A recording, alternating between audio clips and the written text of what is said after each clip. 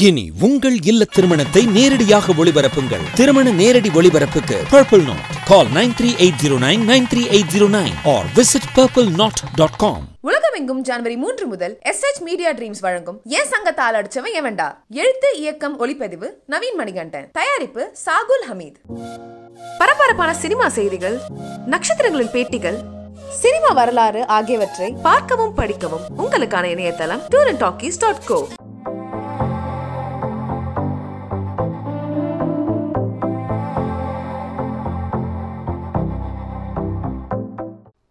Purple Knot வழங்கும்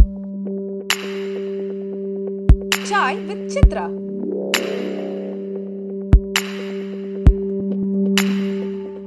சண்டைக்கோழி நாயகன் விஷால். விஷால். ரெண்டாவது ரெண்டாவது. அவங்களோட இணையறாரு ஆமா ஆமா ஆமா நான் அது நம்ம இந்த. படத்துல பொசிஷன் வேற இல்லை. ஆமா.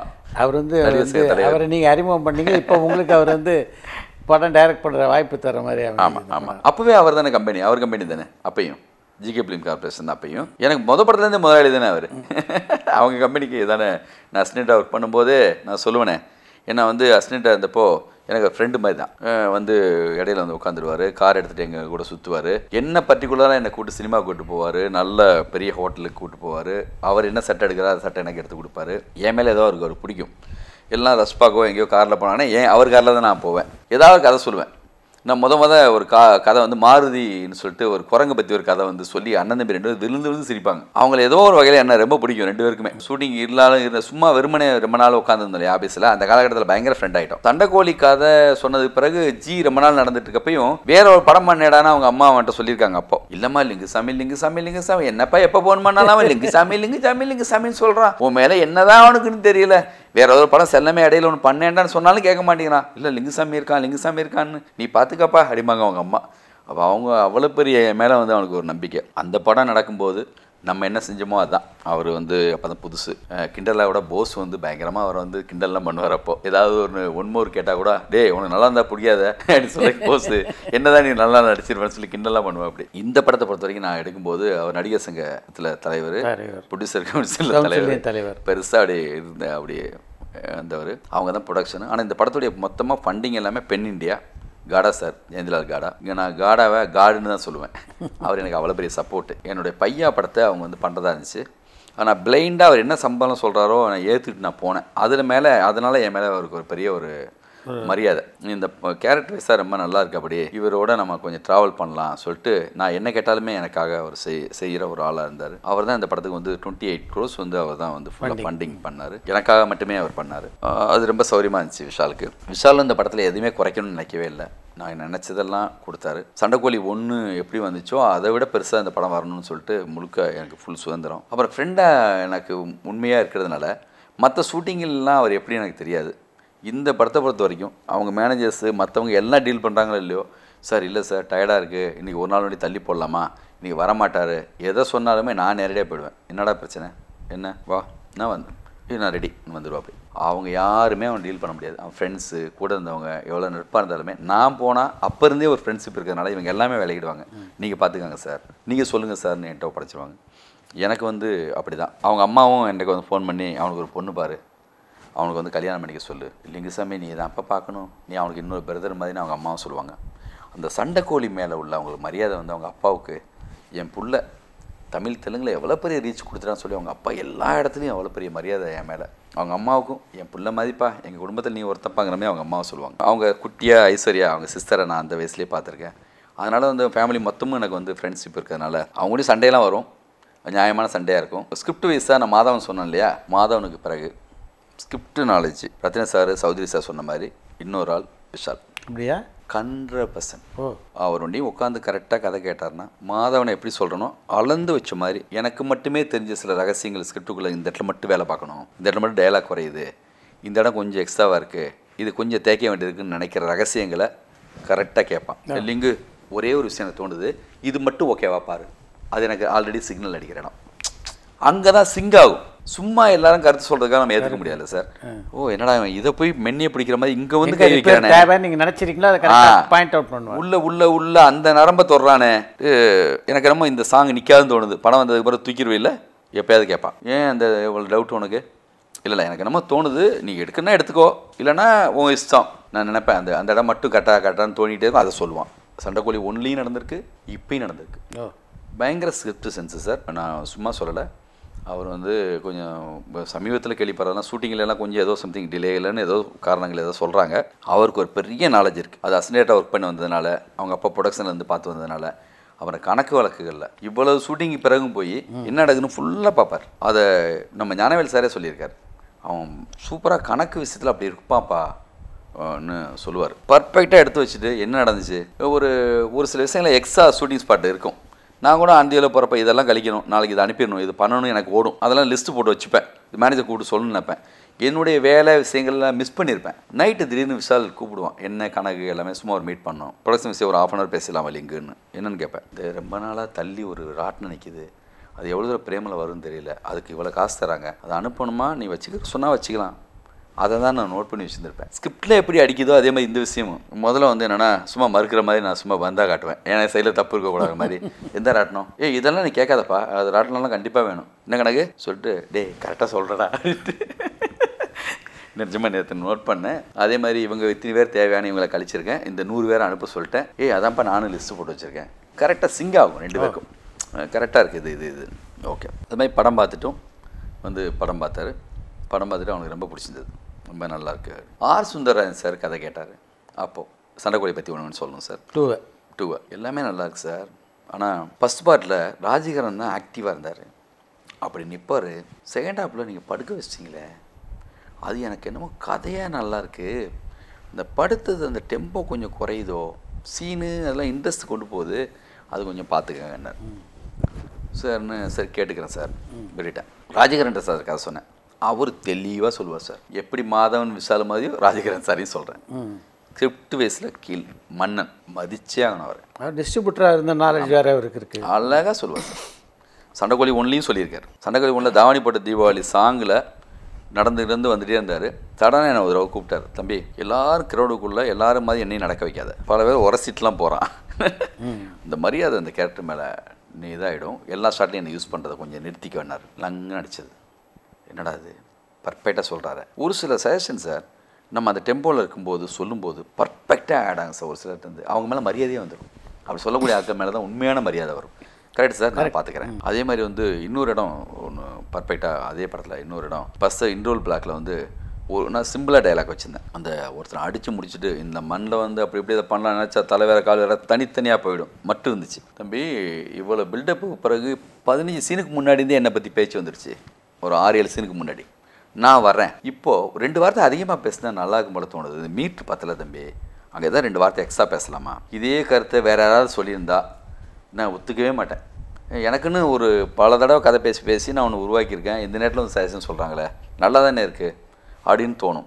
அப்படிலாம் அடம் பிடிக்க தேவையில்லை சார் நம்ம மட்டுமே தான் எல்லாமே பண்ணிட்டோம்னு இருக்கணும் அவசியம் இல்லைன்னு நான் பல நினைப்பேன். ஒரு சிலர் வந்து என்னென்னா பாரதியார் சார் இப்படி இருப்பாராம்.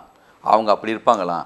நிறைய அதை முன்னபிப்பிராயத்தையும் படிச்சுட்டும் நடிக்க ஆரம்பிப்பாங்க. நீங்கள் ஓப்பனாக உண்மையாக இருந்தால் உங்களுக்கு சொல்கிறதுக்கு நிறைய பேர் வருவாங்க. நம்ம நடிகர் நடிக்கட்டும். நீங்கள் நடிக்காது நடிக்கவே கூடாது. நம்மகிட்ட கொஞ்சோண்டு இருக்குது சார். இன்னும் கொஞ்சம் பேர் கொஞ்சம் கொண்டு வராங்க சார். அதெல்லாம் சேர்ந்து தான் வருது. நான் டேரக்டர் அந்த போஸ்ட் கொடுக்கவே கூடாது சார். எந்த லைஃப்லேயும் எந்த காலத்துலேயும். ஓப்பனாக இருந்தால் மட்டும்தான் ஏதாவது இன்புட் உள்ளே வரும். நான் எப்பயுமே அப்படி இருப்பேன். அவர் வந்தார். அந்த மாதிரி சொன்னோன்னே சார் கரெக்டு சார் நான் ட்ரை பண்ணுறேன் சொல்லிட்டு இம்மிடியட்டாக ராமகிருஷ்ணன் சார் அப்போ கூட இருந்தார். அப்போது ரெண்டு மூணு நல்ல வார்த்தைகள் போட்டு சொன்னோன்னே தமிழ் அப்படி நின்றுச்சு அப்படி ஒரு ஹெல்ப் அவர்கிட்ட வந்துருந்துச்சு. அவரும் கதை சொல்லி முடித்தோடனே தம்பி நான் செகண்ட் ஹாப்பில் கொஞ்சம் படுத்திருக்கேனே. அது வந்து உங்களுக்கு கரெக்டாக இருக்குமா? நீங்கள் சொல்கிற நியாய தர்மங்கள் எல்லாமே கரெக்டாக இருக்குது சீன்ஸ் எல்லாமே நல்லா தான் இருக்குது ஆனால் அது மட்டும் கொஞ்சம் பாருங்கன்னாரு. இல்லைண்ணே சரியாக வரும் அப்படின்னு நான் சொல்லிட்டேன். நான் நிறைய நம்பினேன். படம் ரிலீஸ் ஆச்சு. நல்லா அதுக்கு பர்டிகுலராக சுந்தரராஜ் சார் ஃபோன் பண்ணி எழில்ட்டு கேட்டுக்கிறேன் என்ன ரிப்போர்ட் இந்த படத்தில் ரிப்போர்ட்டுக்கு நான் வெயிட் பண்ணுறேன் அப்படின்னு. சார் ரொம்ப நல்லா சார் படம் அப்படின்னு சொல்லி அவர் சொல்லியிருக்காரு. அப்படியா? செகண்ட் ஹாப்லாம் ஒர்க் அவுட் ஆயிடுச்சா? ஒர்க் அவுட் ஆயிடுச்சு சார் நல்லா தான் இருக்குன்னு சொன்னார் அவர். இன்னும் கொஞ்சம் கூட என்னென்னா வட சென்னை சேர்ந்து வந்துச்சு. ஒருவேளை சேம் வேட்டை நண்பர் மாதிரியே சொல்கிறேன் சார். ஒருவேளை வராமல் இருந்திருந்தால் வித்த விலையும் ரொம்ப பெருசு. இங்கே எப்போ தீர்மானிக்கப்படுது வெற்றி? விலைக்கு கம்பேர் பண்ணும்போது கம்பேர் பண்ணும்போது தான் அந்த கணக்கில் பார்க்குறப்போ அதுக்கு முன்னாடி வந்த அவருடைய எந்த படத்தை விட அதிகமான கலெக்ஷன் ஆனால் வித்த விலை வந்து ரொம்ப பெருசு. விஷாலுடைய எந்த படமும் பண்ணாத சேட்டலைட் மார்க்கெட்டு பதினெட்டரை கோடி சேட்டலைட் போயிருக்கு. எயிட்டீன் அண்ட் க்ரோஸ் படத்துடைய மொத்த business sixty two gross business விஷாலுக்கு மிகப்பெரிய லாபமான ஒரு படம். எனக்கு தெரிஞ்சு நான் அதுக்கப்புறம் டோட்டல் டீட்டெயிலாக கேட்கல எந்த அளவுக்கு அது பண்ணி செஞ்சுன்னு. என்னை பொறுத்த வரைக்கும் அந்த படம் நான் திருப்தியாக வேலை பார்த்தேன். நல்ல படம் தான். ஒன்றை கெடுத்துடக்கூடாது உன்னுடைய மரியாதை போயிடக்கூடாதுங்கிற பயம் எனக்கு நிறைய இருந்துச்சு. அதுக்கு எந்த இதுவும் வந்துடாமல் வேலை பார்க்கணுமேன்னு. ஆனால் ஒன்றெல்லாம் வந்து பூர்த்தியெல்லாம் பண்ண முடியாதுங்கிறது லேட்டாக தான் தெரிஞ்சது. ஏன்னா ஒரு தடவை நடக்கிறதுங்கிறது ஒரு மேஜிக்கு அது பிளெயினாக ஒயிட் சீட்டில் எழுதும்போது வரக்கூடிய ஒரு விஷயம். ஒன்று ரெனோவேஷன் பண்ணும்போது வராது. ஏன்னா அதே ராஜகிரன் இருக்கணும் இந்த ஃபேமிலி பேக்ட்ராப் வேணும். அதை வச்சுட்டு ஒரு கதை பண்ணும்போது ஒருவேளை பாகுபலி மாதிரி படம் தொடர்ச்சியாக எடுத்ததுனால அது பெரிய பெரிய ஹிட்டாக இருக்கலாம். இந்தியில் நிறைய படங்கள் பண்ணுறாங்க மலையாளத்தில் கூட நாலு படம் தொடர்ச்சியாக ஹிட்டாக இருக்குது அது ஆனால் ஒரு சவாலான வேலை தான் சார். படம் தயாரிக்கணும் டிஸ்ட்ரிபியூட் பண்ணணும்னு ஏன் உங்களுக்கு தோணுச்சு? எதனாலன்னா சார் நம்ம ரன்னு முடிஞ்சது ஜியில் வந்து நான் படம் பண்ணுறேன் அவ்வளோ பெரிய கிட்டுக்கு பிறகு ஒரு படம் ஆரம்பிக்கிறேன். ஆனால் ஏன் தப்பு எதுவுமே இல்லை. ஆனால் எனக்கு வந்து லேக் ஆகுது. அப்போது ஒரு கோவம். பீமா நடக்குது. நான் வந்து பெரிய கிட்டு கொடுத்து தான் வந்திருக்கேன். அதுக்கப்புறம் ஏன் டிலே ஆகுது? எங்கே? சரி நம்மளே பண்ணானே பீமாவுக்கு பிறகு தொடங்கு நம்மளே. அந்த ஒரு கோவம். நம்ம நினச்ச படத்தை நம்ம எடுப்போம். இதுக்கு என்ன வேணும்? எல்லாமே அங்கே எல்லா இடத்துலையும் வாங்கி தான் பண்ணுறாங்க யாரும் கையில் வச்சு பண்ணல. தைரியம் தான் முக்கியம். கொஞ்சம் கிரியேட்டர் மாரி கொஞ்சம் தைரியமும் ஜாஸ்தி. கொஞ்சம் போஸும் இருக்கிறதுனால அது கூடுதலாக ஒரு மாரல் சப்போர்ட்டு நான் மட்டும் இருந்ததுனால அந்த முடிவு எடுத்துருக்கவே மாட்டேன். அவர் எல்லாத்தையும் தாங்குற சக்தி உள்ளவர். கொஞ்சம் அவர் கூடுதலாகவே இந்த கேட்டகரியில் அவரையும் நீங்கள் சேர்த்துக்கலாம். மாதவன் விஷால் ராஜகிரன் சார்லாம் சொல்லிட்டே வந்தேன் இல்லையா? கதை பார்க்குறதுலையும் படம் பார்க்குறதுலையும் என்னை விட பியூர் நானாவது டைரக்ஷனு மேக்கிங்கு கொஞ்சம் அதெல்லாம் பார்ப்பேன். அவருக்கு எதுவுமே இல்லை. தேவர் மாதிரி தேவர் ஃபிலிம்ஸு அவர் மாதிரி அவர் ஒரு படம் பார்த்தாருன்னா திருஷ்யம் படம் பார்த்து சொன்னார். எல்லா மொழியுடைய ரைட்ஸ் நம்ம வாங்கலாம். நான் பாம்பேயில் இருக்கேன் அப்போ. பொல்லாதவன் படம் பார்த்துட்டு ஃபோன் பண்ணுவார். எந்த படம் பார்த்தாலும் பர்ஃபெக்டாக ஓடும் ஓடாதுன்னு நூறு பர்சன்ட் சொல்லுவார். அவருக்கு வந்து ஒரு முன்னபிப்பிராயத்திலே ஒரு சிலது தோணிடும் நான் அதை பண்ணி கண்ட்ரோல் பண்ணுவேன். ஒரு போஸ்ட்டு ஒரு ட்ரெயிலர் வந்தோன்னே கூட இப்படி சொல்லாத. அதுதான் மைனஸு அதில் ஒரு ஈகோ வருது. அதில் வியாபாரம் கூட கெடுது. அது நீ ஏதோ ஜெயிச்ச மாதிரி ஃபீல் பண்ணுற நீ சொன்னதுக்காகவே ஜெயிக்கணும் அது தோக்கணுங்கிற கணக்கு வந்துடும் முன்னாடி யாருமே மதிப்பிடாதேன்னு சொல்லி நான் கொஞ்சம் கண்ட்ரோல் பண்ணுவேன். ஆனால் அவருக்கு பளிச்சு பளிச்சு பளிச்சுன்னு தோணும். ஒரு கமெண்ட் அடிக்கிற மாதிரி அவர் வந்து ஒன்னொன்னையும் இந்த ட்ரெய்லர் பார்த்தோன்னு சொல்லுவார். உலகம் மொத்தமும் எந்த படம் பார்த்தாலும் சொல்லுவார். அவருக்கு அந்த உண்மையிலேயே அந்த ஒரு பேசிக்காக ஒரு ரசிகனாக அவர் வந்து கண்டிப்பாக அந்த நாலேஜ் உள்ள ஒரு தம்பிங்கனால சும்மா புகழல. சார் நிஜமாவே சொல்கிறேன் இல்லை உங்கள் அஞ்சான் படத்தை பார்த்து மிகப்பெரிய வெற்றி அடையாதுன்னு அவர்களுக்கு கணிக்க முடிச்சா அவர் வந்து என்னன்னா சேம் அவருக்கும் அதே மயக்கத்தில் தான் இருக்காரு. கண்டினியூவாக கிட்டு கொடுத்துட்டே இருக்கும்ல. உங்களோட கேரி ஆகிட்டு ஆமாம் கோலி சோடா சேட்டலைட்டு ஒரு சேனலில் சேனலில் ஒரு கோடி கேட்குறாங்க தர மாட்டேன் ரிலீஸுக்கு பிறகு தரேன் நான் மூணு ரூபா சொல்கிறேன் இந்த வாங்கு. என்ன இவ்வளோ பெரிய வேலை சொல்கிறீங்க இல்லைங்க நீங்கள் பாருங்கள் போகும். படம் ஹிட் ஆகுது மூணே கால் ரூபாய்க்கு கொடுக்குறாரு. அப்போ அவருக்கு ஒரு தெம்பு வரும்ல. அது மாதிரி அஞ்சான் படம் பார்த்துட்டு அவருக்கு வந்து ஒரு மயக்கத்தில் தான் அவர் இருந்தார். அவருக்கும் அது பிடிச்சிருந்தது. கண்டிப்பாக கண்டிப்பாக அது நல்லா தான் இருக்குது அப்படின்னு. அவருக்கு அவ்வளோ நாலேஜபிளான ஆள். கொஞ்சம் கூடுதல் தைரியம் உள்ள ஒரு ஆள். அவர் கூட இருந்ததுனால ப்ரொடக்ஷன் தொடங்கலாமே. அப்புறம் இது புதுசும் இல்லை. பாலச்சந்தர் கவிதாலயிலேருந்து சித்ராலயா பல கிரியேட்டர்ஸ் பண்ணியிருக்காங்க. பெரிய பெரிய பெரிய கிரியேட்டர்ஸ் செல்வமணி சார்லேருந்து சங்கர் சார்லேருந்து எல்லாம் மணி சார்லேருந்து ஒரு ப்ரொடக்ஷன் ஹவுஸ் இருக்குது அது ரொம்ப சௌரியமாகவும் இருக்கும். நம்ம மட்டும் படம் பண்ணாமல் புதுசு புதுசான ஆட்களுக்கு அது தரலாம். கண்டிப்பாக நல்லா இருக்குமே நினச்சி தான் அந்த ப்ரொடக்ஷன் ஸ்டார்ட் பண்ணேன். உங்கள் தயாரிப்பில் கமல்ஹாசன் நடிக்கக்கூடிய வாய்ப்பு உங்களுக்கு கிடைச்சிது. ஆமாம் கமல்ஹாசன் டைரக்ட் பண்ணணுன்றது எல்லாருக்குமே ஒரு கனவு. ஏன் அந்த வாய்ப்பை நீங்கள் எடுத்துக்கல? அந்த படத்தை பொறுத்த வரைக்கும் நான் அப்போ அஞ்சான் கமிட் ஆகியிருந்தேன் எப்போ எப்போ வந்து ரஜினி சார் கூப்பிட்டு வச்சு கதை இருக்கான்னு கேட்டப்போ அப்போ எனக்கு சடனாக எனக்கு இல்லைன்னு சொல்லணும் அந்த மாதிரி ஆனந்தம் முடிச்ச உடனே மதின்னு ஒரு கதை கமல் சாரை வச்சு தான் படம் பண்ணுறதுக்காக தான் நான் ட்ரை பண்ணேன். அப்போ ஒரு கதை அவர் ஓகே பண்ணார். ராஜகமலில் பண்ண சொன்னார். எனக்கு அப்போ இருந்த பயம் ராஜகமல் கமல் ரெண்டு பேருமே உள்ளே வந்தாங்கன்னா நான் தாங்குவேனா? வெளியில் சொல்கிறதெல்லாம் பெருசாக கமல் சார் உள்ளே வருவான்னு சொல்கிறாங்களே நம்ம அந்த சுதந்திரம் போயிடுமோன்னு தான் அப்போ படம் பண்ணல ரன்னு பண்ணேன். இப்போது இந்த டயத்தில் அவர் ஆல்ரெடி அவர் ஒரு கதை பண்ணி வச்சுட்டு ஒரு வேற ஒரு டைரக்டரை ஃபிக்ஸ் பண்ணிட்டு படம் பண்ணுன்னு சொல்லும்போது நானும் ஒரு எங்கேஜாக இருக்கேன். ஒரு பெரிய ஹீரோவோட சூர்யா சாரோட தான் படம் பண்ண போகிறேன் அதனால எனக்கு கேட்கணும் பண்ணணும்னு தோணல. ஃப்யூச்சரில் பண்ணுவோம். ஆனால் சிங்க் வந்து பயங்கர என்ன அவருக்கு அவ்வளோ பிடிக்கும்? எனக்கும் அவர் அவ்வளோ பிடிக்கும். அது லவ் மாதிரி கூட சொல்லலாம். எங்கே இருந்தாலும் அவர் ஃபோன் பண்ணுவார் நானும் ஃபோன் பண்ணுவேன். அப்போ அந்த படம் நடக்கும்போது நம்ம வந்து பீக்கில் இருக்கோம். ஒரே நேரம் அஞ்சு படம் நடந்துட்டு கம்பெனியில் விமல் முதல் கமல் வரை. ஒரு மேடையில் பார்க்குறேன் துபாயில். அந்த மேடையில் இருக்கிற எல்லா விஷயம் படம் பண்ணிட்டு இருக்கோம். சிவகார்த்தியன் இருக்காரு ரஜினி முருகன் விஜய் சேதுபதி இருக்காரு படம் பண்ணிட்டு இருக்கோம். அந்த கமல் சார் இருக்காரு உத்தம வில்லன் பண்ணிட்டு இருக்கோம். விமலோட மஞ்சபை பண்ணிட்டு இருக்கோம். மேக்ஸிமம் சூர்யா சார் இருக்கார். எல்லா ஹீரோவோடையும் படம் பண்ணுறோம் அப்போ பக்கத்தில் இருந்து ஒருத்தன் சொன்னான் விமல் முதல் கமல் வரை நீங்கள் தாங்க படம் பண்ணிட்டு இருக்கீங்கன்னு சொன்னார். ஒரே நேரத்தில் தேவர் ஃபிலிம்ஸில் அஞ்சு படம் பண்ணதா சொன்னாங்கல்ல நம்ம கம்பெனியில் அஞ்சு படம் நடந்துச்சு. ஒரு டிஸ்கஷனு ஒரு ஷூட்டிங்கு ஒரு போஸ்ட் ப்ரொடக்ஷன் ரிலீஸ்க்கு ரெடி ஆகி பரபரப்புனா அப்படி ஒரு பரபரப்பு இருந்துச்சு. அந்த ஓவர் ஸ்பீடு இருக்கு இல்லையா அது கூட கொஞ்சம் மைனஸ் தான் நினைக்கிறேன். எங்கேயோ ஷூட்டிங்கில் இருக்கிற யாரோ பெரிய ஹீரோ கூட வந்து நம்ம ஆர்டிஸ்ட்டு ஒரு சிலர்கிட்ட எப்படி நடக்குது? எப்படி பண்ணுறாங்க பெரிய பெரிய ஆட்கள்லாம் கூட டிஸ்கஸ் பண்ணியிருக்காங்க அதை பற்றி எப்படி அவங்க என்ன டீம் வச்சுருக்காங்க? எப்படி அது சாத்தியமாகுதுன்னெலாம் பேசியிருக்காங்க. அது கடவுள் அனுகிரகம் வித் எங்கள் கூட இருந்த நண்பர்கள் எல்லாருடைய ஒத்துழைப்போடு தான். என்னுடைய அறிவு மட்டுமே இங்கே நாங்கள் மட்டுமே கிடையாது. எங்களோட இந்த அசிஸ்டன்ஸ் வெளியில் போனவங்கெல்லாம் கூட வந்து படம் பார்ப்பாங்க. எல்லாம் ஒரு குடும்பம் மாதிரி ஒரு பதினெட்டு பேர் எப்போ பார்த்தாலும் இங்கே வந்து வெளியில் போன அசிஸ்டன்ஸு என்னுடைய நண்பர்கள் எல்லாரும் வந்து படம் பார்த்துட்டு அவங்க சொன்ன டிப்ஸ் எல்லாம் சேர்ந்து தான் இந்த கம்பெனி வளர்ந்துச்சு. அப்புறம் அந்த காலகட்டத்தில் வந்து ஃபைனான்ஸ் பண்ணுறதுக்கு வந்து என்னென்னா தமிழ் தெலுங்கில் உள்ள ஃபைனான்சஸ் எல்லாருமே பணத்தை திருப்பி கொடுக்கறதுக்காக ட்ரை பண்ணுவேன். இப்போ அபிராமி ராமநாதன் சாருக்கு ஃபோன் பண்ணி சார் இந்த படம் முடிஞ்சிச்சில்ல அந்த அமௌண்ட்டு ஒரு மூணு ரூபா அனுப்பி வைக்கிறேன் சார் டென்ஷன் ஆகார் என்னங்க? என்னன்னு கேட்குறேன் போங்க. உங்கள் தம்பிகிட்ட நான் பேசிக்கிறேன். அது திருப்பி பேச பேங்க் எனக்கு. திருப்பி கொடுத்தா டென்ஷன் ஆவாங்க. அவர் சொல்லுவார் மேகலா பிக்சர்ஸுக்கு வந்து க நாங்கள் வந்து அப்போ வந்து க க கலைஞர் அவங்க ஃபேமிலியில் அவங்களுக்கு வந்து ஃபைனான்ஸ் பண்ணியிருக்காரு எங்கள் அப்பா. கன் மாதிரி இருக்கும். அதுக்கப்புறம் உங்கள் தம்பி தாங்க. எப்படியோ போஸ் வந்து இன்ட்ரெஸ்ட் அப்படி பர்ஃபெக்டாக கொடுப்பாருன்னு ஒரு பேர். நான் தான் சொல்லுவேன் போஸ் கொடுத்த இன்ட்ரெஸ்ட்டுக்கு வந்து எக்ஸ்பிரஸ் அவனி வாங்கியிருக்கலாம். இண்டஸ்ட்ரியில் அப்படி ஒரு நல்ல பேர்.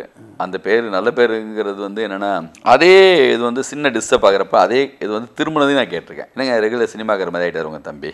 இன்னும் சொன்னதையும் கேட்டிருக்கேன். இங்கே எல்லாமே அப்படி தான் அது அது எனக்கு வந்து பெரிய ஷாக்கிங்காக இல்லை. ஏன்னா அப் அண்ட் டவுன் எல்லாமே கேரியரில் ரெண்டாவது படத்துலேருந்தே பார்த்துட்டு வந்துட்டுருக்கேன். இப்போ இது வரைக்கும் உள்ள நான் பண்ண வேலையெல்லாம் மரியாதை வேணும்னா நான் திரும்பி புதுசாக ஒரு வேலை பண்ணாதான் அதுக்கெல்லாம் கூட மரியாதை வரும். கம்பெனி சைட்லேயும் சரி என் சைட்லேயும் சரி.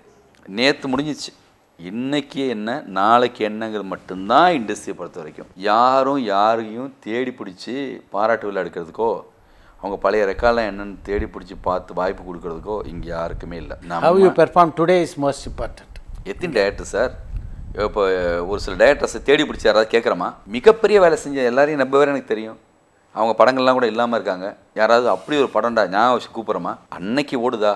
அன்னைக்கு சரியாக இருக்கா? அது எவ்வளோ பெரிய சூப்பர் ஹீரோ கூட இருக்கட்டும். உண்மை உண்மை. அவங்களுக்கும் ஓடுறவங்க தான் வேணும். அது குறையே இல்லை தப்பே இல்லை. அவங்களுக்கு ஜெயிக்கணும்.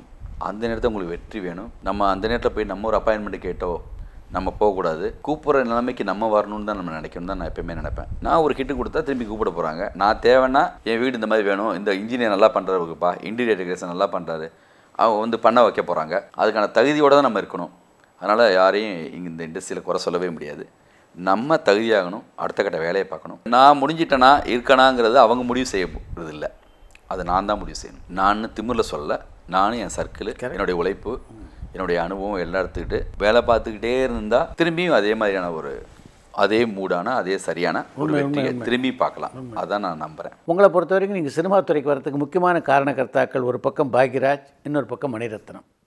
அவங்கள எப்போ சந்திச்சிங்க? மணி சார் வந்து ரன்னு படம் பார்க்க வந்திருந்தார். ரன்னு அவர் படம் பார்க்க வர்றாரு ரிசல்ட் என்ன சொல்ல போகிறாருன்னு பயங்கர வெயிட்டிங் படம் பார்த்தாரு வெளியில் வந்தார். நான் நிற்கிறேன் அப்படியே பதறுது எனக்கு கை கொடுத்தாரு. அது கைனா முழுசாக கொடுக்க மாட்டார். முனையில் தான் அப்படி பிடிச்சார். அதுவே எனக்கு ஜிவ் ஜிவ்னு இருக்குது நல்லா இருக்கு. அடுத்த வாரத்துக்காக நான் எதிர்பார்த்துட்டு இருக்கேன். கிளம்பிட்டார். கலைப்பட்டார் ஏன், படம் மாதிரியே ஒரு சொல்லுதானா அப்படின்ட்டு ஒரு ரெண்டு மணி நேரம் கழிச்சு ஒரு ஒன் ஹவர் மாதவன் ஃபோனு அவர் தான் சேர்ந்து போனார். இங்கே சாப்பிட போயிருக்காங்க. இல்லை சார்? எங்கே இருக்கீங்க? மேடி. சார் வந்ததுலேருந்து சார் உங்கள் படத்தை பற்றி மட்டும் சொல்லிகிட்டே இருக்காரு. நான் பக்கத்தில் தள்ளி உட்காந்துக்காரு கொஞ்சம் நேரம் பேசினேன். வெரி ப்ராமிசிங் டேரக்டர்னு உங்களை பற்றி சொன்னார். பதினோரு மணிக்கு ஃபோனு வெரி ப்ராமிசிங் டேரக்டரா அப்படின்னா என்ன? அதுக்கான கரெக்டான அர்த்தம் என்னவா இருக்கும்? உடனே பாலாஜி சாருக்கு ஃபோன் பண்ணுறேன் sir sir Mani sir phone பண்ணி வெரி ப்ராமிசிங் டேட்னு சொன்னாராம் கரெக்டான அர்த்தம் என்ன சார்?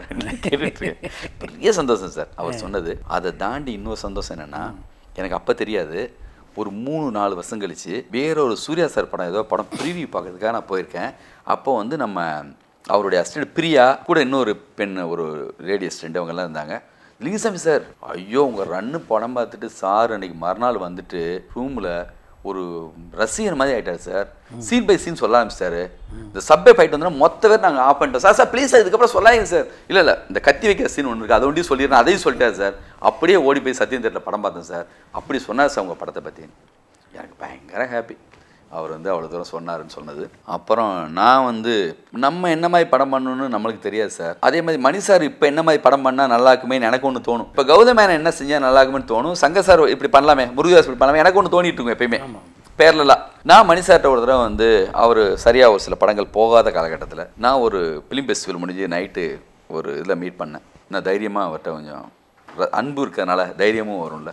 ஒரு சார் நீங்கள் வந்து துள்ள துடிக்க அலை பெய்கிற மாதிரி இதய திட்ட மாதிரி ஒரு படம் பண்ணு சார் அப்படின்னு அவர் சொன்னேன் அதுக்கு தான் நீங்கள் கௌதமெல்லாம் இப்போ வந்துட்டீங்களே அப்படின்னார். அப்பையும் அப்பயும் அவர் ஏதோ பொன்னியின் செல்வனையோ இல்லை ராவணனையோ எடுக்கிறதுக்கான முயற்சியில் இருக்கார் அப்படி அவர் இப்போ சொன்னார். நான் ரொம்ப அவரை ரொம்ப பிடிக்கும்.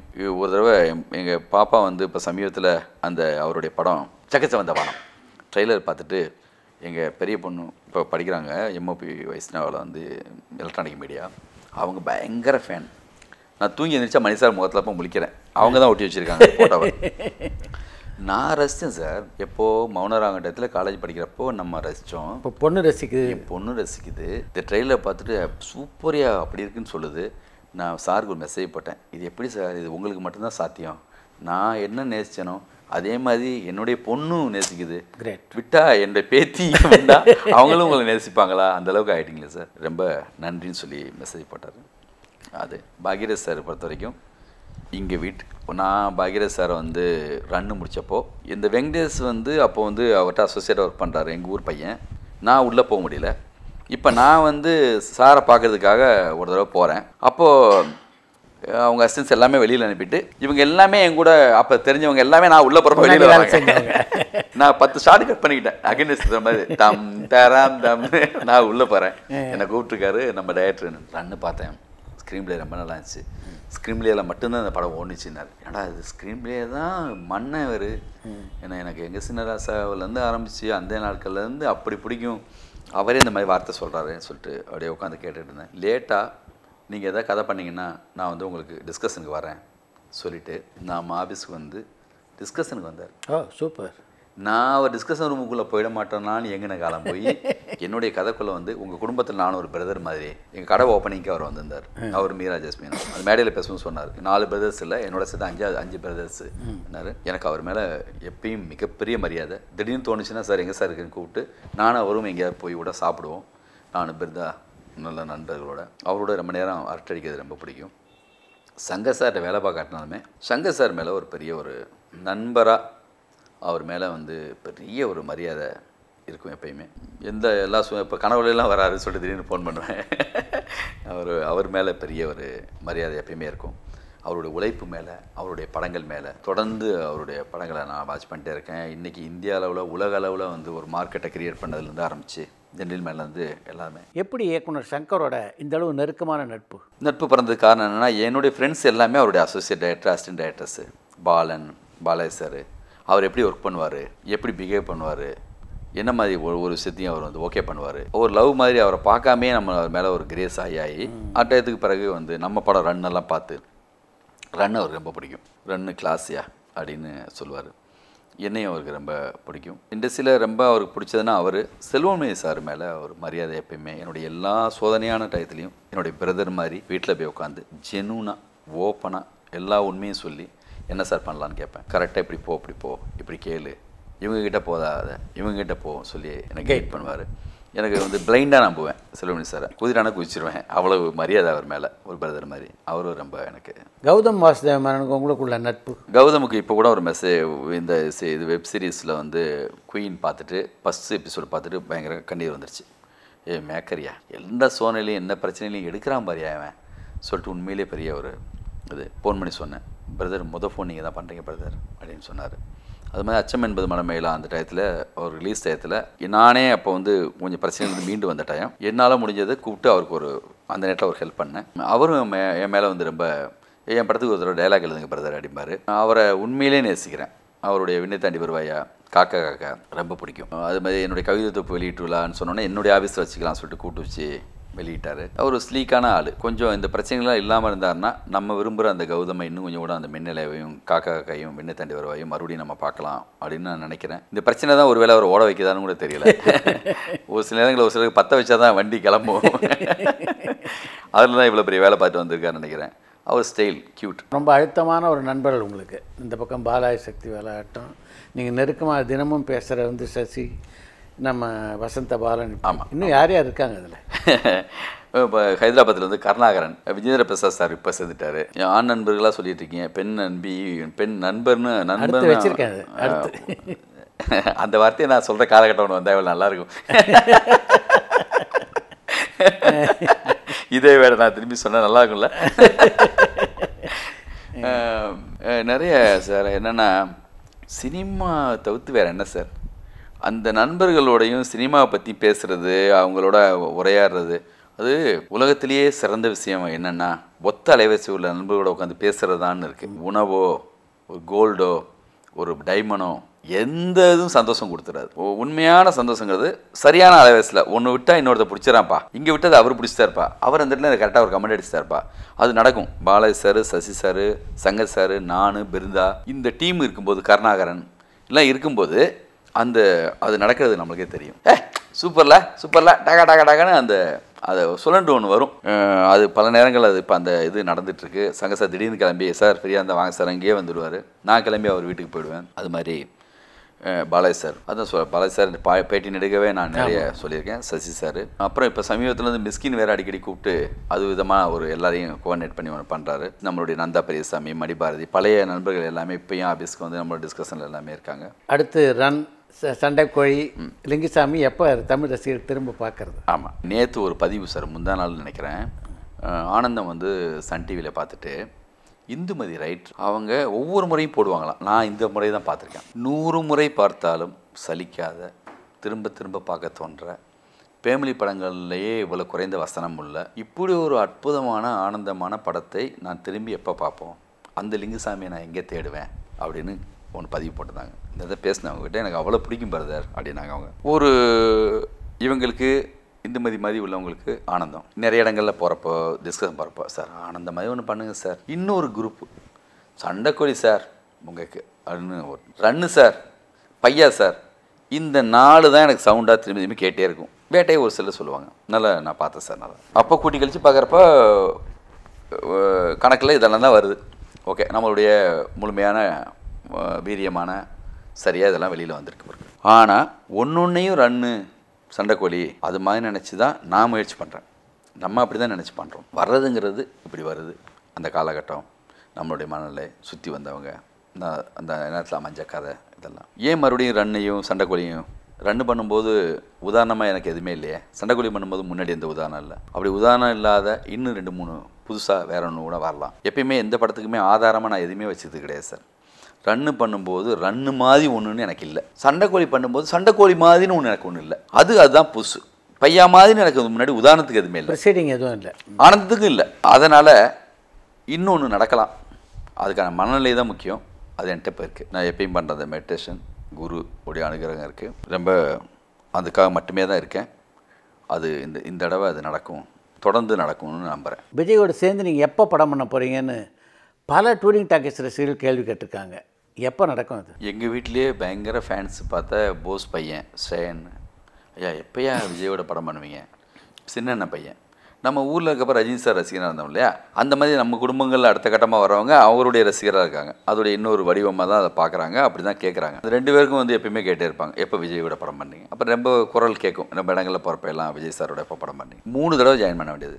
ரன்னில் மிஸ் ஆச்சு சண்டைக்கோழியில் மிஸ் ஆச்சு வேட்டையில் மிஸ் ஆச்சு. அது தெரிஞ்சோ தெரியாமையோ அது அமையாமல் போயிடுச்சு. நானும் ஒரு முறை முயற்சி எடுக்கிறேன் அது கரெக்டாக வரல. ஆனால் வந்து இப்போது நான் ஒவ்வொரு படத்தையும் தேட்டரில் முத நாளே அவருடைய படத்தை நான் ஸ்ட்ரெயிட்டாக போய் தேட்டரில் ரிலீஸில் பார்க்குறேன். நான் அவர்கிட்ட ட்ரை பண்ண காலத்தை விட இன்னும் கொஞ்சம் கூட ரேஞ்ச் அதிகமாக இருக்கார் இன்னும் கொஞ்சம் கூட பைன் டூன் ஆகிட்டார் ரொம்ப நான் ஊர்லேருந்து பார்க்குற ரஜினி சார் அளவுக்கான அந்த கிரேஸு அவர்கிட்ட அந்த பாடி லாங்குவேஜ் அந்த பைன் டூனிங்கான பெர்ஃபார்மன்ஸு எல்லாமே பர்ஃபெக்டாக வந்துருச்சு. ஸ்கிரிப்ட்டு கதை மட்டும்தான் சார். ஏன்னா இப்போ யாருமே சொல்ல மாட்டாங்க. சேர்ந்தது பிறகு தான் சொல்லுவாங்க சார் உங்கள் ரன்னு சண்டைக்கோழி அவருடைய இது இது இது. இப்படிலாம் எதிர்பார்த்தோம் சார்னு பெரிய பட்டியலோடு வருவாங்க. யாரும் இப்போ சொல்லவே மாட்டாங்க. படம் வந்தது பிறகு தான் எல்லாமே பேசுவாங்க. அப்படி நடக்குதுன்னா அது வந்து கதை தான் தீர்மானிக்கும். உண்மையிலே அப்படி ஒன்று வந்துருச்சுன்னா கிளம்பி நான் நேரடியாக போயிடுவேன். சார் இப்படி ஒன்று இருக்குது என்ன பண்ணுறீங்களான்னு என்கிட்ட இல்லை. விஜேந்திர பிரசாத் சார் ஒரு கதை இருக்குன்னு சொன்னார். அதையும் உதவ சொன்னோம். அவரும் ஆர்வமாக கேட்டாங்க. அது வந்து அது வேணான்னு டிசைட் பண்ணிட்டாங்க அப்புறம். ஏன்னா அதில் ஒரு சின்னதாக ஒன்று அதுலேயும் ஒரு இது இருந்துச்சு. ஒரு கை இப்படி லைட்டாக பாகப்பிரிட்டம் கொஞ்சம் நேரத்துக்கு வச்சுக்கணும். நான் இப்படி கை வச்சுக்கிறதானா அவருக்கு யோசனை அதில். எப்படி வரும் எப்படி வரும்னு ரொம்ப ஓடி இருக்கு அது நின்றுடுச்சு நடக்கலை. ஆனால் நானும் ஒரு கதை எதிர்பார்த்துட்ருக்கேன். அப்படி ஒரு கதை வந்துச்சுன்னா நானே ஆர்வமாக இருக்கேன். உங்கள் அந்த ரசிகர்கள் கேட்குற மாதிரியே தான் அந்த ஆர்வத்தோட தேரில் படம் பார்க்குறப்ப எனக்கே அது பிடிக்குது. அவரோட பண்ணணும்னு ஆசையும் இருக்குது பண்ணால் அதை வந்து கரெக்டாக பண்ணணுமே சரியாக பண்ணணும்னு. ஏன்னா அவருடைய மார்க்கெட்டு அவருடைய ரசிகர்கள் இன்றைக்கி பெருசாகிடுச்சு எந்த தப்பு நடந்தாலும் ரெண்டு பக்கமும் இதாகிடும் கரெக்டான ஸ்கிரிப்ட் வரணும்.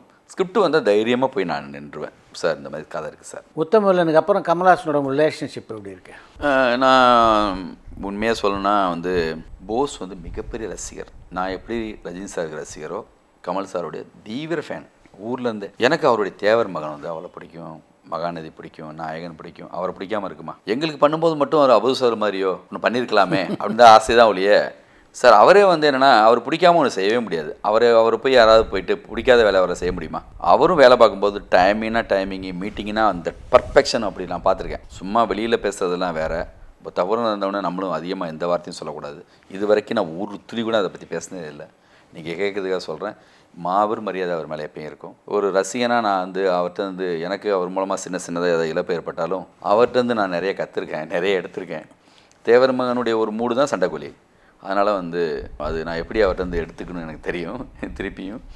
மறுபடியும் வந்து கண்டிப்பாக இன்றைக்கும் நான் போனேன்னா வந்து இது சமீபத்தில் ஒரு சின்ன ஒரு இஷ்யூ வந்தப்போ அவங்க லாயர்ஸோட எல்லாம் மீட் பண்ணும்போது நான் சொன்னேன் கமல் சார் எப்போ கூப்பிட்டாலும் எது சார்பாக என்ன பேசுறதுக்கு நான் ரெடியாக இருக்கேன்னு சொல்லுங்கள் இந்த படம் ரிலீஸ்க்கு கமல் சாரை கூப்பிடலாம் சொல்லிட்டு எத்தனையோ குரல் அந்த கவுன்சிலில் கேட்டப்போ கூட கமல் சார் வந்து தான் இந்த படம் ரிலீஸ் ஆகணும்னா அந்த படம் ரிலீஸ் ஆக வேணாம்.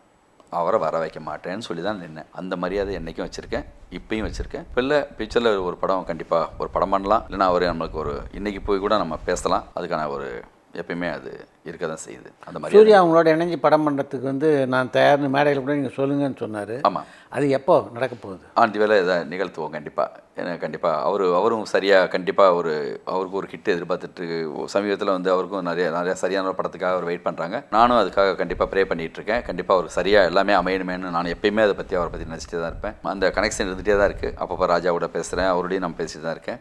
கரெக்டாக அமையும் போது ஒரு படம் கண்டிப்பாக அவருடைய பண்ணுவோம் உங்கள் படங்களில் நடித்த கதாநாயகியில் யார் உங்களுக்கு பிடிச்ச கதாநாயகி? மீரா ஜாஸ்மின். எதுக்காக சொல்கிறேன்னா ஒரு கேமரா வச்சு அதெல்லாம் சொல்லி முடிச்சு நடிப்பு வர்றதுக்கு முன்னாடி ஏதோ நடிப்பு வந்து பொங்கி வலிகிற ஃபீலுக்கு அது வந்து கொ- கொஞ்ச நேரத்தில் வலிஞ்சிடும் கொஞ்சம் வேமா எடுங்க எடுங்கன்னு சொல்லி அந்த ஒரு எனர்ஜி லெவல் வந்து அது சான்ஸே இல்லை சார் அப்படி ஒரு எனர்ஜி கொஞ்சம் அந்த எனர்ஜியே கொஞ்சம் கூடுதலாக கொஞ்சம் வந்து கொஞ்சம் நான் டீல் பண்ணாமல் வேறு ஏதாவது அசிஸ்டன்ஸ் யாராவது போயிட்டு ஏதாவது காஸ்டியூம்ஸ் பேசினாலாம் கொஞ்சம் கோவம் கொஞ்சம் வேகம்லாம் நிறைய இருக்கும். இருந்தாலும் என்கிட்ட எதுவுமே அதை காட்டிக்க மாட்டாங்க. நான் வந்து ஒரு சாவித்திரினா அடுத்த சாவித்திரி அவங்க தான் நான் நம்பிட்டு இருந்தேன். அவங்க தான் அடுத்த கட்டமாக வரப்போகிறாங்க அந்த இடத்துக்கு.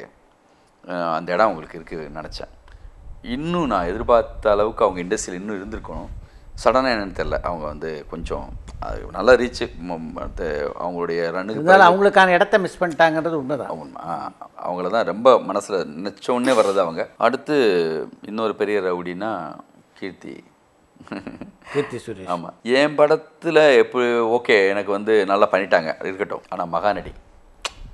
படம் பார்த்துட்டு ஒவ்வொரு முறையும் ஒரு ஷாட் வந்து நான் வந்து யானை மேலே ஏறி உட்காந்து அவங்க வர ஷாட் பார்ப்போ கண்ட்ரோலே பண்ண முடியாமல் கண்ணீர் வந்துடும் பா என்ன ஆர்டிஸ்டா ஷீ லிவ்டு தட் கேரக்டர் இன்னைக்கு நம்மளுக்கு கிடைச்சிருக்கிற ஒரு பெரிய ஒரு அப்படி ஒரு அவங்கள எல்லாம் யார் யாரெல்லாம் பாராட்டினாங்களோ அப்போ என் பட ஷூட்டிங்கில் தான் இருப்பாங்க. அவங்களுக்கு வர கால் எல்லாமே எனக்கு தெரியும். எனக்கு இன்றைக்கும் கனெக்டில் இருக்கிற ஒரு சில ஹீரோயின்ஸுன்னா வந்து கனெக்ட்னா ஃப்ரெண்ட்லியா ஏய் வா எங்கே இருக்க? எனக்கு இதை அனுப்பி வை. என்ன பண்ணுற எப்போ ஷூட்டிங்கு அப்படி கேட்கக்கூடியவங்களில் அவங்க தான் இப்போது இருக்காங்க. இப்பயும் அவங்களுடைய என்ன ஷெட்யூல் என்ன படம் பண்ணுறாங்க எங்கே இருக்காங்க எல்லாமே எனக்கு தெரியும். என்னை பற்றியான எல்லா விஷயங்களும் அவங்களும் பேசிட்டே தான் இருப்பாங்க. அவ்வளோ நல்ல நட்பு இப்போ இருக்கு எனக்கு. அனுஷ்கா பற்றி சொல்லவே இல்லையே நீங்கள் அவங்கள ரொம்ப பிடிக்கும். அனுஷ்கான்னு கேட்டதுனால சொல்லிடுறேன். எனக்கு என் கூட ஒர்க் பண்ணுற எல்லாரும் இந்த சங்கசாரை பற்றி எப்படி வந்து விவரத்தின் மூலமாக நான் கேள்விப்பட்ட மாதிரி என் படத்தில் ஒர்க் பண்ண பிருந்தா மாஸ்டர் ஒரு ராஜ் மாஸ்டர் கார்த்தி எனக்கு எந்தெந்த டெக்னீஷியன் வந்தாலும் அவங்க வேறு ஏதாவது ஷூட்டிங் போனாங்கன்னா அங்கே ஒரு ஆள் உன்னை பற்றியே பேசியிருக்கான்னு சொல்லாமல் இருக்க முடியாது. அப்படி ஒருத்தவங்களை பற்றி நான் பேசுனா அனுஷ்கா பற்றி பேசுவேன். எதனால்? எனக்கு ரொம்ப பிடிக்கும் சார். அவங்க சமீபத்தில் இப்போது ஒரு எப்படி தீபிகா படுகோன் இந்தியாவுக்கு அளவில் ஒரு முக்கியமான ஒரு அந்த பிக்சரோட ரொம்ப அற்புதமான ஒரு ஹீரோயினாக இருக்காங்களோ அந்த மாதிரி நம்ம சவுத்தில் இந்த ஒரு இருபத்தஞ்சி வருஷத்தில் இப்படி ஒரு லட்சணத்தோட ஒரு ஒரு அற்புதமான ஒரு ஹீரோயின் நான் பார்க்கல. அந்த படத்துக்குன்னா அவங்க தான் பண்ண முடியுங்கிற மாதிரி அருந்ததியும் சரி அருந்ததிலாம் நான் ஒரு பதினஞ்சு தடவை பார்த்துருப்பேன். அவங்களுக்காகவே. பாகுபலி. என்ன மாதிரியான எப்படி இருப்பாங்க?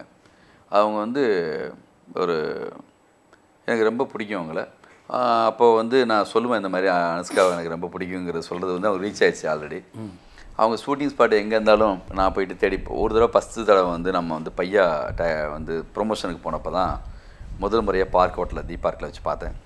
அப்போ வந்து கார்த்தி சொன்னோடனே ஐயோ நீங்கள் என்னை பிடிக்கும்னு சொல்லி எல்லாரும் வந்து என்கிட்ட சொல்லுவாங்க. அவங்க சொல்லியிருக்காங்க எல்லாரும் சொல்லியிருக்காங்க சொல்லியிருக்காங்க. வந்துடுச்சா சரி ஓகே என்ன? பதட்டம் ஆனால் தாங்க முடியல. ஃபஸ்ட் அவங்கள பார்த்தப்போ. எப்படி முத முதல் ரஜினி சாரை பார்க்குறப்ப பதட்டம் வருமோ? பாக்யராஜ் சாரை பார்க்குறப்ப மணி சாரை பார்க்குறப்ப வந்துச்சு? அதே பதட்டம் அவங்கள பார்க்குறப்ப எனக்கு உண்மையிலேயே வந்துச்சு. அவங்களுக்கு ரொம்ப பிடிச்சது. அவங்க போயிட்டு போய் உட்காந்துட்டாங்க பேசிட்டு நான் பிளேட் எடுத்து சாப்பிட்றதுக்காக எடுத்து வச்சிட்ருக்கேன் அவங்கள பார்த்துட்டே பிளேட்டை கீழே விட்டேன். கலங்க அந்த சவுண்டு. திரும்பி உட்காந்தாங்க திரும்பி பார்த்தாங்க. எல்லாம் டக்கு டக்குன்னு திரும்புவாங்களே அவங்களும் திரும்பினாங்க. உங்களுக்காக தான் போட்டேன்னு சொன்னேன். சிரிச்சிட்டாங்க. இது ஃபஸ்ட்டு இதுக்கப்புறம் வந்து அவங்க ஷூட்டிங் ஸ்பாட்டு ருத்ரமாதேவியோ எந்த ஷூட்டிங் ஸ்பாட் அந்த மெர்ச்சியோ ஷூட்டிங் ஸ்பாட் எங்கே இருந்தாலுமே நான் ஹைதராபாத் போனால் அங்கே போவேன். போயிட்டு மீட் பண்ணுவேன் பேசுவேன். அவங்களுக்காக நிறைய ஓவியங்கள்லாம் என் நண்பர் ஒருத்தர் மூலமாக பண்ணியெல்லாம் அனுப்பியிருக்கேன். கொஞ்சம் மெனக்கிடுவேன். அதுக்காக. உண்மையிலேயே பிடிச்சி. என்னென்னா சார் எனக்கு பிடிக்குங்கிறது அவங்களுக்கே தெரியாது. இதெல்லாம் ஒன் சைடு தான். நம்மளுக்கு பிடிக்கும். அது ஒரு ரொம்ப நைன்டி சிக்ஸ்னு வச்சுக்கோங்களேன் அந்தளவுக்கு ஒரு ட்ரூத்தான ஒரு பியூரான அப்படி தான் இப்பயும் அவங்கள உடம்பு சரியில்லை. கொஞ்சம் ஏதாவது ஹெல்த்துக்கு தேவைன்னா எங்கே போகலாம் சொல்லிட்டு நான் பொறுப்பாக இந்த தன்வந்திரி போ அங்கே கோயம்புத்தூரில் அந்த மாதிரி டாக்டர் இருக்கார் அனுப்புறது. அவங்களுடைய எல்லா விஷயத்துலேயுமே பங்கெடுத்துக்கிறது. பர்த்டே அன்னைக்கு போய் மீட் பண்ணுறது இப்படி டோட்டலாகவே அவங்களோட ஒரு இருப்பேன். ஒரு மரியாதை கலந்த ஒரு அன்பு. வேறு எதுவுமே இல்லை. லிங்குசாமி ஒரு ரொமான்டிக் பர்சனா அது படத்தில் பார்க்குறப்ப தெரியுதுல்ல சார் பரதே சார் மாதிரி கேட்குறீங்க ஐயோ சொல்லியா? கேட்கல வாழ்க்கையில் கேட்குறேன் வாழ்க்கையிலையா? நிறைய என்னுடைய லவ் வந்து சொல்ல ஆரம்பிச்சா இப்போ கொடுத்த இன்டர்வியூவில் இருக்கிற ஃபுட்டேஜ் மாதிரி பேட்டரி இன்னும் ஒரு பத்து தடவை மாற்ற வேண்டியிருக்கும். கார்டு இன்னும் ஒரு பதினஞ்சு கார்டு சொல்ல வேண்டியிருக்கும். இன்னும் ரெண்டு மூணு நாள் கூட போக வேண்டியிருக்கும். அவ்வளவு நிமிஷத்துக்கு நிமிஷத்துக்கு ஸ்கூல் டயத்துலேருந்தே இன்னும் ரெண்டாவது படிக்கிறப்ப அதான் சொல்லலாம். என்னையும் ஒரு பொண்ணையும் கைங்கலமாக ரெண்டு பேரும் வந்து அங்கே தனியாக ஸ்கூல் நடந்திருக்கப்ப இங்கே என்னடா வேலைன்னு தூக்கிட்டு வந்திருக்காங்க. எங்கள் ஊரில் முத முத அது எங்கள் சொந்தக்கார பொண்ணு ரோஜான்னு சொல்லி. என்ன? அப்படி ஆரம்பித்து லைஃப் லாங்கு மெட்ராஸ் வந்தப்பெல்லாம் வந்து சார்ட்ட தான் சொல்லுவேன். நீ என்ன மன்மதியில் ஐயர் மாதிரி எல்லாத்தையும் என்கிட்டே வந்து அப்படிம்பார். அவர் தான் ஹரிஹர சுப்பிரமணியம் ஆமாம் நிறைய பஸ்ஸில் போகிறப்போ ட்ரெயினில் போகிறப்போ எங்கேயா வெயிட்டிங்கில் இருக்கப்போ காலேஜ் படிக்கிறப்போ கோயிலுக்கு போனால் எல்லா இடத்துலையுமே நிறைய நம்மளுக்கு பிடித்த மாதிரியான மௌனி கதைகளில் வர்ற பெண்கள் மாதிரி தீஜாயிரம் படத்தில் ஸ்ரீரங்கத்து தேவதையில் வர்ற பெண்கள் மாதிரி என் வாழ்க்கை மொத்தமும் அழகழகான பெண்கள் வந்துகிட்டே இருந்திருக்காங்க. ஆனால் வந்து எங்கேயுமே வந்து நான் எல்லை மீறி ஒரு கமெண்ட் அடிக்கிறதோ ஒரு லவபிளான ஒரு நியாயமான ஆளாக தான் நான் எல்லாருமே என்னுடைய முதல் லவ் கூட நான் வந்து அந்த பொண்ணுக்கு வந்து தெரிவிச்சதே கிடையாது. எப்படி பாக்யராஜ் சாரை பார்த்தோன்னா பதறி பேக்கில் போகணும் அது மாதிரி அந்த பொண்ணு பஸ்ஸில் வந்தால் நான் பின்னாடி யார் பின்னாடி தான் மறைஞ்சிருவேன். சம்மந்தப்பட்ட ஆள்கிட்ட மட்டுமே போய் சேரலைங்கிற மாதிரி அவரை பிடிக்கும் அவர்கிட்ட சொன்னதில்ல மாதிரி என்னுடைய முதல் லவ கூட அந்த சுஜாதான்னு ஒரு பொண்ணு என் கூட படித்த பொண்ணு என் பஸ்லேயே தான் வரும். ஆனால் அந்த பொண்ணுகிட்ட கடைசி வரைக்கும் லவ் சொன்னதில்லை. அது நடந்து போகிற ஸ்ட்ரீட்டில் அவளை தாண்டி நடந்து போவேன். அவள் தெரிஞ்சுக்கிட்டோம் இங்கே நான் ஒருத்தன் இருக்கேன் அப்படின்னு அந்தளவுக்கு நேர்மையாக ஓவர் நேர்மை. அவ்வளோ தூரத்துக்கு அந்த பொண்ணுடைய ஃப்ரெண்டுக்கிட்ட நான் எழுதின கவிதையை புக்கை பத்திரிக்கையில் வந்திருக்குன்னு கொடுக்குற தைரியம் நேரடியாக அந்த பொண்ணுகிட்ட இருக்காது. இந்த பொண்ணு மூலமாக அவளுக்கு போய் ரீச் ஆகட்டும். ஒரு ரவுலுக்கு தான் சொல்லாத காதல் தான். அப்படி நிறைய இருந்திருக்கு. அந்த அந்த பொண்ணு தான் தொடர்ச்சியாக ஒரு ஏழு எட்டு வருஷத்துக்கு மைண்டில் மொத்தமும் இருந்த ஒரு முக்கியமான ஒரு பொண்ணு. அந்த வீட்டுக்கு நான் ஒரு தடவை கல்யாணம் ஆகி நானும் எங்கள் மிஸ்ஸஸும் போனப்போ அந்த பொண்ணுடைய சிஸ்டர் என்கிட்ட வந்து சொன்னாங்க காலேஜ் போயிட்டு வரப்போ ஸ்கூலுக்கு போயிட்டு வரப்போ எப்போ பார்த்தாலும் லிங்குசாமி லிங்குசாமின்னு எங்கள் அக்கா பேசிட்டு இருக்கணும் சிறுகதை மாதிரி இருந்துச்சு. கல்யாணம் முடிச்சு வீட்டுக்கு போகிறப்ப இந்த மாதிரி ஒரு பெரிய வார்த்தையை சொல்கிறாங்களேன்னு இல்லை இப்படிப்பட்ட ஒரு காதலராக இருந்தவர் சினிமாவுக்கு வந்த பிறகு மட்டும் எப்படி அந்த காதல் மிஸ் ஆகிருக்க முடியும்? சினிமாவில் நீங்கள் காதலிச்ச நடிகைகள் யார்? அதான் அனுஷ்கா சொன்னேன். அனுஷ்கா தவிர. அப்படி ஒர்க்கு நடக்கும்போது சார் நான் ஓப்பனாக உண்மையை சொல்லிடுறேன். நம்ம படம் முடிச்சிட்டு வெளியில் வந்துட்டு ஜாலியாக இருக்கலாம் சக்ஸஸ் பார்ட்டி வைக்கலாம் சந்தோஷமாக இருக்கலாம் அர்ட் அடிக்கலாம். நீங்கள் டைரக்டராக இருந்திருக்கீங்க ஒரு டைரக்டரோட பெரிய டைரக்டரோட கூட ஒர்க் பண்ணியிருக்கீங்க ஒரு சும்மா பெப்புக்காக நம்ம பேசுகிறதில்ல இல்ல பேசுனா என்னென்ன சும்மா வார்த்தைக்காக சும்மா சொல்லலாம். ஆனால் வந்து ஒரு வேலைங்கிறப்போ இது நல்லா வருமா? இது ஒர்க் அவுட் ஆகிடுமா இதை அக்செப்ட் பண்ணிப்பாங்களா? பயம் நம்மளை துரத்திட்டே இருக்கும். வேலை துரத்தும். ஒரு நாள் செட்டில் போய் இறங்கி நிற்கும் போது நூறு கேள்வி இருக்கும். இந்த ஷார்ட் எப்படி எடுக்க போகிறோம் நம்மளுக்கு முன்னாடி இவ்வளோ பேர் வந்துட்டாங்க. இது என்ன புதுசு இருக்குது அது வரைக்கும் நம்பிக்கை இருந்தது திடீர்னு நம்பிக்கை கூட போகும். அந்த கதையை உள்வாங்கி அதுக்குள்ளே போய் போய் போய் போய் கொஞ்சம் ஓரளவு அந்த கேரக்டருக்குள்ளே ஒரு கெட்டப் போட்ட மாதிரி நான் தான் சொல்லுவேன். ஆர்டிஸ்ட் மட்டும் கெட்டப் போடல. ஒரு டைரக்டர் தான் கெட்டப் போடுறான். ரன்னு பண்ணும்போது ஒரு யூத்தாக ஸ்டைலாக அந்த அந்த மூடுக்கு நம்ம மாற வேண்டியிருக்கு. ஆனந்தம் பண்ணும்போது ஃபேமிலி மேனாக அந்த மூட்லேயே இருக்க வேண்டியிருக்குன்னு. படம் நடக்கும்போது படத்துடைய வேலையை மட்டும்தான் நான் பார்த்துருக்கேன் சார் அதை தவிர்த்து யோசிக்கிற நேரமே இல்லை. இந்த சின்ன கேப்பில் கேப்பில் அமலாபால் சமீரா ரெட்டி இவங்கெல்லாம் ஒர்க் பண்ணும்போது ரொம்ப க்யூட்டாக நம்மளை மேலே நம்ம கிரேஸாக பேசிகிட்டு இருப்போம் படம் முடிச்சுட்டு வந்துட்டு சின்னதாக வந்து அந்த அரட்டை இருக்கும். ஆனால் அதுக்காக படம் எடுக்கும்போது டென்ஷனாக இருக்க மாட்டேன். எதையுமே வந்து நான் பரபரப்பாக ஆகி எந்த வேலையும் நான் செய்யணும்னு நினைக்கவே மாட்டேன். அது ஒரு ரிதத்தோட டைமிங்கில் நடக்கணும்னு நினைப்பேன். யாரையும் பதற வச்சு எந்த வேலையும் நான் செய்யவே மாட்டேன். என்னுடைய ஷூட்டிங்கு ரொம்ப ஒரு ரிதமேட்டிக்காக போகணும். வந்தவங்களை ஹட் பண்ணக்கூடாது. அவங்க ஏதாவது தப்பாக போயிட்டா படமே தப்பாகிடும் அப்படிங்கிறதுலையும் இருப்பேன். ரொம்ப ரசித்து கவிதை பேசிட்டு நல்ல ஒரு மனசோட தான் ஒர்க் பண்ணுவேன். ஒரு அதை தாண்டி ஒரு பரபரப்பு இருக்கும். அது அதுக்கு இடையில எந்த இந்த மாதிரி லவ் பண்ணுறதுக்கான நேரமே அமையலை சார். உங்களை ஒரு நடிகை தீவிரமாக காதலிச்சாங்களாமே? படம் முடிஞ்சதுக்கு பிறகு ஒரு எனக்கு ரொம்ப பிடிச்ச ஒரு ஹீரோயின் மட்டும் ரொம்ப லேட்டாக எனக்கு வந்து ஃபோன் பண்ணி உங்களை சந்திக்கணும் உங்களை எனக்கு அவ்வளோ பிடிக்கும். அப்படிலாம் சொல்லியிருக்காங்க. வந்து அது நடந்திருக்கு. ஆனால் காலம் கடந்து தான் அந்த மாதிரியான இதெல்லாம் எனக்கு சொல்லியிருக்காங்க. அதுக்கு ரெஸ்பாண்ட் பண்ணுற அளவுக்கு நானும் அப்போ இல்லை. அப்புறம் ரொம்ப நல்ல ஒரு ஃபேமிலி அட்மாஸ்பியர்லேருந்து நம்ம வந்ததுனால திரும்பி திரும்பி கண்ணுக்கு முன்னாடி அவங்க வந்து ஃபேமிலி வந்து எப்பயுமே வந்து நின்றோம். அதனால் ரொம்ப மீறி எந்த வேலைகளும் நான் வந்து போயிட முடியாது. உங்களை கவிஞராக்கினதுல வந்து இந்த காதல் உணர்வுக்கு மிகப்பெரிய பங்குண்டா கண்டிப்பாக வந்து ஸ்கூல் டயத்துலேருந்து பார்த்த பல பெண்கள் தான் வந்து என்னென்னா நம்மளை கவிதை எழுத வச்சவங்க. முத முத கவிதை எழுதுறப்ப இந்த கவிதை அவங்க பார்வைக்கு போகாதா? பத்திரிகையில் பேசணும்னா அவங்க பாத்திர மாட்டாங்கன்னு தான் நம்ம இயங்கியிருக்கோம். அப்படி தான் வந்து சொல்லியிருக்கிறேன். பக்கத்தில் உள்ள தோழிக்கிட்ட கொடுத்து அவங்க பாத்திர மாட்டாங்களான்னு. கையெழுத்து பிரதி ஆரம்பிச்சதுலேருந்தே ஆரம்பித்து ஏதோ ஒரு நம்ம அந்த ஏரியாவில் இருக்கிற ஒரு முக்கியமான ஒரு பெண்ணுக்காக ஒரு சில கவிதை எழுதியிருப்போம். அதுக்காக கையெழுத்து பிறவியே தொடங்கியிருப்போம். அப்படிலாம் நடந்திருக்கு. நிறைய கவிதைகள் வந்து அந்த இந்த ரொமான்டிக்கான ஆள் உள்ளே இருக்கிறதுனால தான் ரன்னு மாதிரி பையா மாதிரி கொஞ்சம் இந்த மாதிரி கவிதைகள்லாம் கொஞ்சம் வருது. அதான் ரீசன் நினைக்கிறேன். அடுத்து உங்களுடைய படைப்பு யாரோட? அடுத்து வந்து ரங்கஸ்தலம்னு படம் சார் இது வந்து தெலுங்கில் வந்து மாபெரும் வெற்றி பெற்ற ஒரு படம். ராம் சரண் சம்பந்தா நடித்த ஒரு படம். அது சுகுமார்னு ஒரு நல்ல டைரக்டர் டைரக்ட் பண்ணியிருப்பார். நான் ஃபஸ்ட் டைமாக நான் ரீமேக் பண்ணணும்னு நினைக்கவே இல்லை. ஆனால் இந்த படம் எனக்கு ரொம்ப பிடிச்சிருந்தது. இந்த படத்தை பண்ணலான்னு இப்போ நினைக்கிறேன். அதுக்கான ஒர்க்கு தான் போயிட்டுருக்கு. லாரன்ஸ் மாஸ்டர் தான் இந்த படத்தை வந்து நடிக்க போகிறாரு மற்ற ஆர்டிஸ்ட் செலெக்ஷன்லாம் போயிட்டுருக்கு சார். நன்றி. இவ்வளோ நேரம் டூரிங் டாக்கிஸ் ரசிகர்களுக்காக ரொம்ப ஒதுக்கி பேசினதுக்கு. ரொம்ப நன்றி சார். நான் வந்து தொடர்ந்து உங்களுடைய இன்டர்வியூ எல்லாமே பார்க்குறேன். நானே மிகப்பெரிய ரசிகன். உங்ககிட்ட இருக்கிற பெரிய சிறப்பு என்னென்னா யாரையுமே வந்து என்னென்னா பேசிகிட்டு இருக்கும்போது கேள்விகளை ஓவர் கம் பண்ணியோ அதெல்லாம் பண்ணாமல் ரொம்ப ஒரு நீர் மாதிரி அழகாக உட்காந்து அதை வாங்குறீங்க கரெக்டாக இவ்வளவு டீட்டெயிலாக எந்த இன்ட்ரியுமே லைஃப்பில் கொடுத்ததே இல்லை. அது உங்களுடைய ஃபேஸ் உங்கள்கிட்ட இருக்கிற அந்த மூடு தான் என்னை இது வர வச்சிருக்கு. நானும் நன்றி சொல்லிக்கிறேன். வணக்கம். அன்புள்ள டூரிங் டாக்கீஸ் ரசிக பெருமக்களுக்கு வணக்கம்.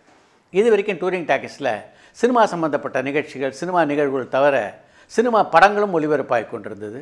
இப்போ சினிமா படங்களுக்கென்று தனியாக டூரிங் சினிமாஸ் அப்படின்னு ஒரு புது சேனலை ஆரம்பிச்சிருக்கோம். அந்த சேனலில் எம்ஜிஆர் சிவாஜி கமல்ஹாசன் ரஜினிகாந்த் உட்பட பல முன்னணி நட்சத்திரங்கள் நடித்த பல திரைப்படங்கள் நீங்கள் பார்க்கலாம். டூரிங் டாக்கீஸினுடைய சகோதர சேனலான டூரிங் சினிமாஸுடைய லிங்க் கீழே தரப்பட்டுள்ளது.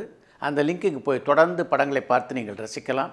டூரிங் டாக்கீஸுக்கு எப்படிப்பட்ட ஒரு ஆதரவை நீங்கள் வழங்கினீர்களோ அப்படிப்பட்ட ஒரு ஆதரவை தொடர்ந்து டூரிங் சினிமாஸுக்கும் நீங்கள் வழங்க வேண்டும் என்று அன்போடு உங்களை வேண்டி கேட்டுக்கொள்கிறேன். வணக்கம். அன்புக்குரிய திரைப்பட தயாரிப்பாளர்களுக்கு உங்களது திரைப்படங்களை பத்திரிகைகளிலும் தொலைக்காட்சிகளிலும் விளம்பரம் செய்ய நீங்கள் அணுக வேண்டிய முகவரி யூனிவர்சல் ஆட்ஸ் தொலைபேசி எண் seven three five eight five seven six five double four அல்லது nine triple four three eight three seven double four மின்னஞ்சல் முகவரி யூவி ஆட்ஸ் அதாவது UV double A DS at Yahoo dot co dot in